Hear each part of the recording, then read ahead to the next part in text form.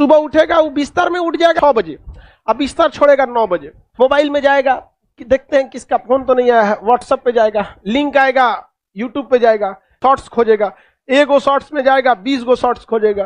उसको पता ही नहीं चलेगा हम जा कहाँ रहे उसका अंतरात्मा अंदर से कहेगा कि छोड़ो ना, फिर कहेगा दस मिनट बाद पढ़ेंगे। वो कहेगा कि हम पढ़ना चाहते हैं, फिर कहेगा पाँच मिनट बाद पढ़ते ऐसे करते करते उस रात को आठ बजे सोचेगा कि पढ़ने बैठे तो पढ़ने बैठेगा रात को ग्यारह बजे अब बारह बजे नींद आने लगे छोड़ देगा सुबह उठ के पढ़ तो ये सब चीज़ों से बचिए